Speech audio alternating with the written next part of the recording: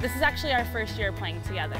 I moved to California in January, so I was on a partner hunt. I needed a blocker. We started talking about playing. She's a gnarly defender and uh, I spotted her last year and I really wanted to play with her, so I made sure this off season that I was in contact with her. Jen and I are good partners um, because she's such a great blocker and she's very smart. Uh, she's been playing a little bit longer than I have, so she's um, a little more experienced. We've definitely improved. Our first tournament in Fort Lauderdale, we got a fifth, which was super disappointing. We're still figuring things out, trying some new stuff, and I think we've been improving ever since then kind of watched tape and went through what what things we needed to change and where we were losing points. And She's teaching me. Um, I can play a little better defense behind her block. Um, we play well off of each other. In Belmar, we got to the semis, and that was super exciting.